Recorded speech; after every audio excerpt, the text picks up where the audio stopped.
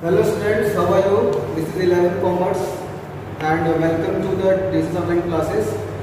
Uh, today we will discuss the same chapter that is partnership with, uh, we are, we are uh, studying the partnership, uh, the form of business organizations. In the form of business organizations we have studied the sole proprietorship and they continue the partnership. Uh, in the partnership today we will discuss uh, what is partnership deed and registrations of the partnership form. Whether you know that the registration of partnership form is not required, it is a compulsion. ये choice है partnership owner के पास या जो partners के पास वो अपने form को रजिस्टर कराए या ना रजिस्टर कराए इट इज़ चॉइस उनके पास है और सेम वे डीड भी जो है हम लोगों ने पढ़ा है कि जो डीड है जो आपका पार्टनरशिप डीड जो है वो भी ओरल होता है या फिर जो है रिटर्न होता है it is depend upon the partners तो and it is advisable to all the partners and those persons who going to start the partnership form it is advisable them to when they are going to start the partnership form they always follow the partnership deed because partnership deed अगर हम written में अगर हम follow करते हैं तो देर जो के बीच जो कॉन्फ्लिक्ट होने के चांसेस होते हैं वो जो है मिनिमाइज हो जाता है I mean to say that अगर हम ऑलरेडी बिज़नेस करते हैं तो पार्टनर्स के बीच में जो आए दिन कुछ कुछ प्रॉब्लम्स मुझे कुछ डिस्प्यूट होता रहेगा, जिससे जो है आपका बिज़नेस ऑपरेशन जो है वो स्मूथली रन नहीं कर पाएगा जिस पर्पज से आपने जो है फॉर्मेशन किया पार्टनरशिप फॉर्म का वो ऑब्जेक्टिव फुलफिल नहीं कर पाएँगे। ठीक है? क्योंकि आपका जो है आपका जो भी एग्रीमेंट है, जो भी टर्म्स कंडीशन है, वो आप ऑलरेडी फॉलो कर रहे हो। तो ये ज़रूरी है कि भाई हम जो भी टर्म्स कंडीशन हमारा उसको रिटर्न में जो है, उसको हम फॉलो करें, ताकि फ्यूचर में कोई भी पार्टनर जो है, वो ऑब्जेक्शन ना करे या प्रॉफिट शेयरिंग को लेकर के या फिर इंटरेस्ट एंड ड्रॉइंग को लेकर के या ड्यूटीज़ ऑब्लिगेशन को लेकर के, ठीक है? तो इसीलिए जो है हम पार्टनरशिप डीड जो है रिटर्न फॉर्म में हर एक फॉर्म जो है एक्सेप्ट करता है या फिर उसी के बेस पर पार्टनरशिप फॉर्म को जो रन करता है।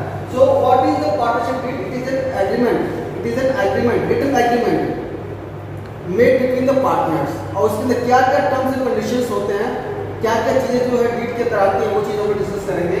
So what are the content of the partnership deed first is name of the firm पहला है कि आपका फॉर्म का नेम क्या है?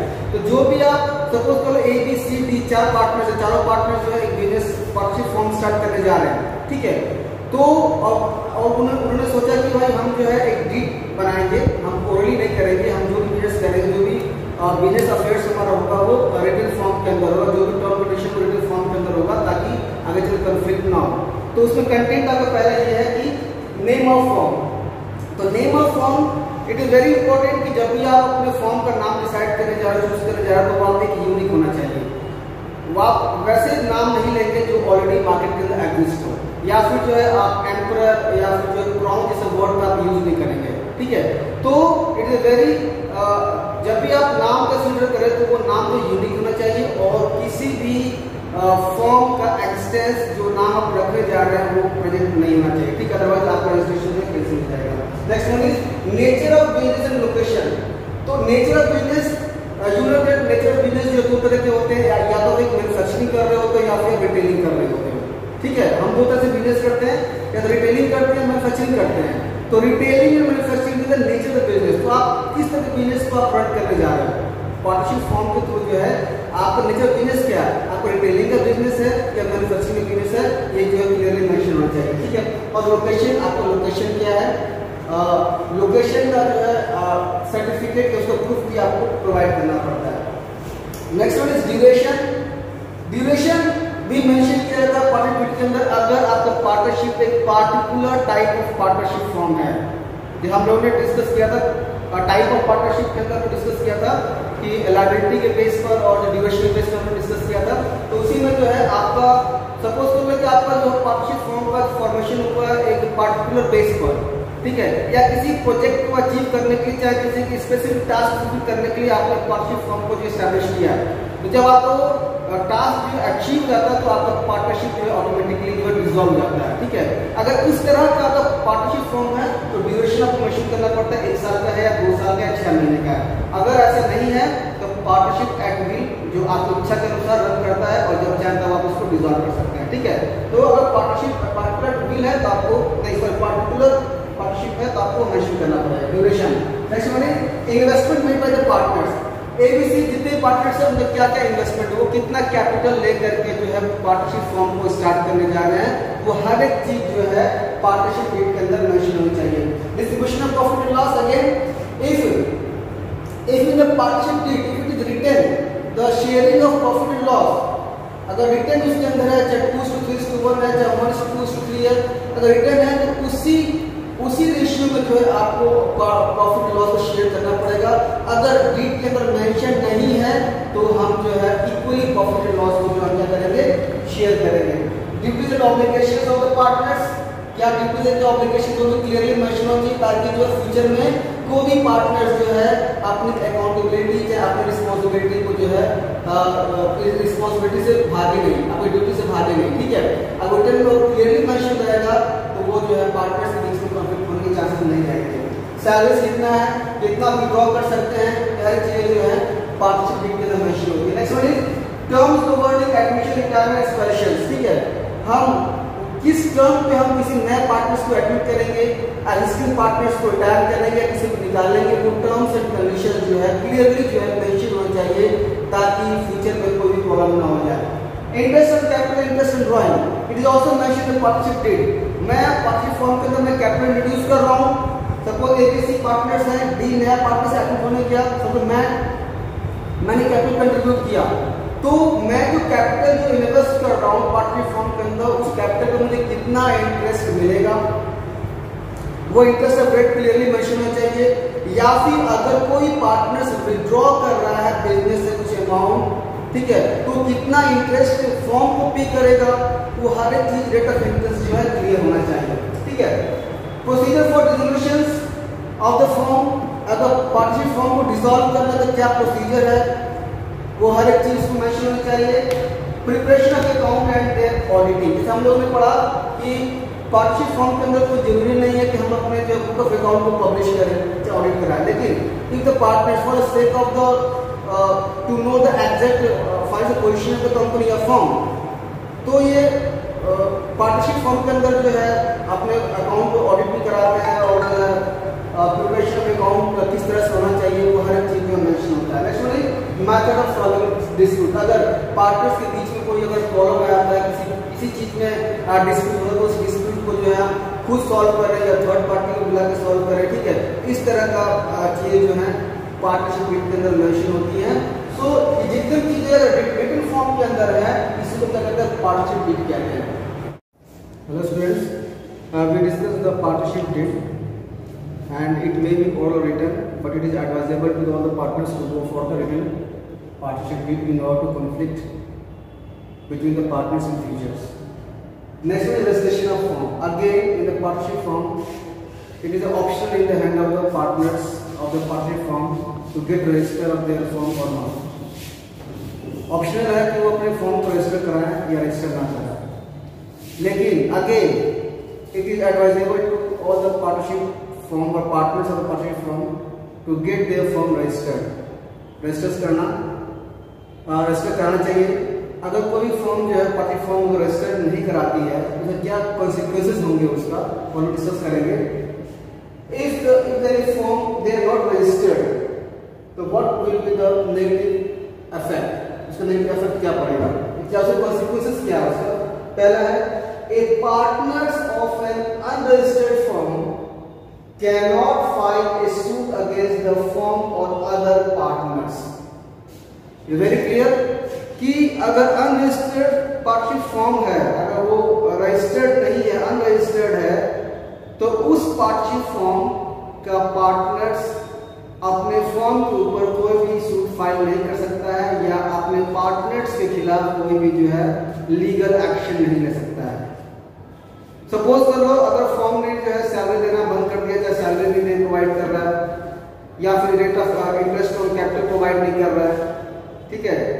या फिर कोई पार्टनर जो है चीटिंग कर रहा है तो जो रिमेनिंग पार्टनर्स हैं, इस केस में क्या होगा, वो उस पार्टनर के खिलाफ चाहे उस फॉर्म के खिलाफ जो है कोई भी लीगल एक्शन नहीं ले सकते हैं। अगर हमारा पार्टनर फॉर्म अनरजिस्टर्ड है, पहला कॉन्सिक्वेंस हो गया।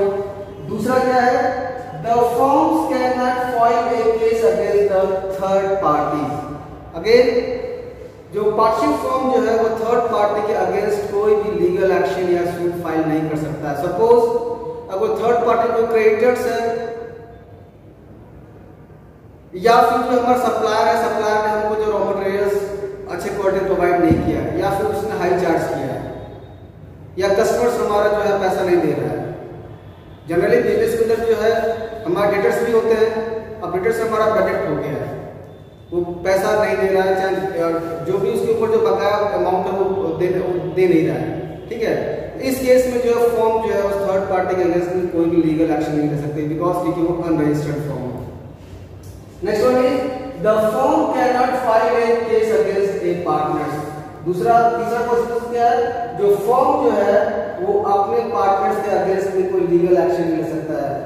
Whatever the written in the partnership deed अगर उसके अगेंस्ट में कोई पार्टनर्स वर्क कर रहा है, जो बिज़नेस इंटरेस्ट को फुलफिल नहीं कर रहा है, ठीक है, जो भी ऑब्लिगेशन उसमें लिखे हुए जो राइट्स जो भी ऑब्लिगेशन जो ड्यूटीज़ मेंशन उसके अकॉर्डिंग अगर वर्क नहीं कर रहा है तो फॉर्म जो है, उस पार्टनर्स के अगेंस्ट में जो है, कोई भी लीगल एक्शन ले सकता है जब क्योंकि वो पार्टनरशिप फॉर्म जो है अनरजिस्टर्ड है। ठीक है तो ये ये ये जो बहुत ज़रूरी है, इन सब चीज़ों से बचने के लिए जो है, ये एडवाइजेबल है कि आप हर एक पार्टनरशिप फॉर्म को रजिस्टर कराएँ ताकि इन सब चीज़ों से जो है बचा जा सके। ठीक है? हेलो स्टूडेंट्स हम लोगों ने देखा कि what is the constitutional unregistered firm so it is advisable to all the partnership firm to get from the registers जो भी इसका जो नेगेटिव कॉन्सिक्वेंस है, उससे हम बच सके। ठीक है? We to look what is the, what is the procedure for getting the form registered. According to the Partnership Act 1932, uh, जो भी पार्टनरशिप फॉर्म जिस स्टेट में है उस स्टेट में हर एक स्टेट में एक रजिस्ट्रार ऑफ़ फॉर्म होता है। रजिस्ट्रार ऑफ़ फॉर्म होता है हर एक स्टेट के अंदर होता है उस स्टेट के वो वो जो रजिस्ट्रार जो फॉर्म जो है वो पार्टनरशिप फॉर्म को जो रजिस्टर करती है। तो क्या प्रोसीजर्स हैं क्या स्टेप्स हैं अपने पार्टनरशिप फॉर्म को रजिस्टर कराने के हम डिस्कस करेंगे। So the procedure is submission of application in the prescribed form to the registrar of firm हर एक स्टेट के लिए रजिस्ट्रार ऑफ़ फॉर्म होता है। The application should contain the following things ठीक है? तो देखिए, जब भी हम अपने पार्टनरशिप फॉर्म को रजिस्टर करना चाहते हैं, उसके पहले एक काम और करना होता है कि पहले हम अपने पार्टनरशिप डीड हम उनको बनाना होता है। पार्टनरशिप डीड जानते हैं एक एग्रीमेंट होता है? वो जो रिटर्न एग्रीमेंट जो होता है, एक स्टैम्प पेपर पर मेंशन होता है। जो भी टर्म्स कंडीशन जो है, जो भी डीड के अंदर जितने भी कंटेंट हैं उन सब कंटेंट को हम जो है स्टैम्प पेपर पर लिखते हैं। हर एक स्टेट का अपना अलग अलग अमाउंट का स्टैम्प पेपर होता है, ठीक है? तो उस स्टैम्प पेपर पर जो है, पहले हम रिटर्न एग्रीमेंट जो है, लिखते हैं। उसके बाद से जो है, हम अपना प्रोसीजर स्टार्ट करते हैं। तो पहला है, submission of application in the prescribed form. To the registrar of firm जो हर एक स्टेट में जो रजिस्ट्रार ऑफ़ फॉर्म होता है, उस फॉर्म को हम एक प्रिस्क्राइब फॉर्म फॉर्म वन आता है तो फॉर्म वन के फॉर्म वन को जो है फिलअप करना पड़ता है। उस फॉर्म वन को जो है फिलअप करना पड़ता है, उस फॉर्म के अंदर कौन कौन से कंटेंट कौन कौन से इन्फॉर्मेशन प्रोवाइड करना होता है रजिस्ट्रार ऑफ़ फॉर्म को, वो देखिए यहाँ पर। पहला दिया हुआ है? नेम ऑफ़ द फॉर्म तो जो एप्लीकेशन जो है जो हम जमा करेंगे रजिस्टर फॉर्म के अंदर, उसके अंदर क्या क्या कंटेंट जो हमको मेंशन करना होता है पार्टशिप फॉर्म को क्या क्या मेंशन करना होता है? पहला है name of the form location of form location of form में आपका लोकेशन फॉर्म का क्या है? अगर आप रेंटल पे अपना बिज़नेस सेटअप कर रहे हो ऑफ़िस आपका रेंटल है तो आपको जो रेंट एग्रीमेंट देना पड़ेगा। या आपको पर्सनल आपका जो ऑफ़िस है तो उसका जो है, कोई भी प्रूफ देना पड़ेगा टेलीफोन का बिल हो गया आपका, या वाटर इलेक्ट्रिसिटी बिल हो गया आपका, ठीक है वॉट एवर जो भी आपके अवेलेबल है, आपको प्रोवाइड करना पड़ेगा कि ये हमारा लोकेशन ऑफ़ फॉर्म हमारा है। Name of other places where the forms carry on business अगर आपका बिज़नेस कहीं और कैरी हो रहा है तो उसका जो है उस प्लेस का नाम भी जो है, आपको मेंशन करना पड़ेगा फॉर्म के अंदर। Next one is the date when each partner join the firm. अगर तीन पार्टनर्स तीनों पार्टनर्स अगर ज्वाइन किए हैं, अगर डी भी बाद में आगे ज्वाइन करने के लिए तो किस किस डेट पर कौन कौन सा पार्टनर्स ज्वाइन किया, वो जो क्लियरली जो है फॉर्म वन के अंदर मेंशन होना चाहिए। Name and address of the partners जितने पार्टनर्स है पार्टनर्स का जो है नाम विद एड्रेस सबमिट करना पड़ता है, और एड्रेस के साथ को डॉक्यूमेंट शो करना पड़ता है। आपका आधार कार्ड हो गया आपका जो ड्राइविंग लाइसेंस हो गया, जो आप अवेलेबल है, जिससे आप आईडी प्रूफ और एड्रेस प्रूफ दोनों आप शो कर सको, ठीक है? तो इसके साथ जो आपको वो भी जो है अटैच करना पड़ता है। ड्यूरेशन ऑफ़ पार्टनरशिप अगर आप पार्टनर टाइप पार्टनरशिप है तो कितने महीने, कितने साल के लिए है, वो चीज़ मेंशन करना पड़ेगा आपको। ये सब इंफॉर्मेशन जो है फॉर्म के अंदर शो करने के बाद से जो है, हर एक पार्टनर्स जो है, उसके साइन करेगा। जो भी जो भी फॉर्म है, उस फॉर्म पर जो है तीन पार्टनर्स चार partner whatever maybe वो हर एक पार्टनर्स का जो है उस पर साइन चाहिए, ठीक है? और तब ये जो है फॉर्म जो है कुछ सरकारी फ़ीस है रजिस्ट्रार ऑफ़ फॉर्म को कुछ एक डिपॉजिट फ़ी है, उस डिपॉजिट फ़ी के साथ जो है, ये एप्लीकेशन को जो है सबमिट करना पड़ता है रजिस्ट्रार ऑफ़ फॉर्म के पास, ठीक है? जब जब सबमिट करते हो तो उसको वेरीफाई करता है वेरीफाई करने के बाद से जो है वो अप्रूवल करता है और तब वो जो है एक रजिस्टर रजिस्टर होता है। उस रजिस्टर के अंदर जो है आपके फॉर्म का नाम जो है मेंशन हो जाता है। ठीक है? वो जो रजिस्टर जो होता है, वो एक पब्लिक डॉक्यूमेंट होता है। वो भी पब्लिक जो है एक एक नॉर्मल फ़ीस दे करके जो है वो इन्फॉर्मेशन ले सकता है कि आपका बिज़नेस का क्या, आपका कौन सा बिज़नेस है नेचर क्या बिज़नेस का कितने पार्टनर्स हैं आपके। तो एक पब्लिक डॉक्यूमेंट है। तो जब ये अप्रूवल मिल जाता है जब रजिस्ट्रेशन जब आपकी एंट्री जब रजिस्टर के अंदर हो जाती है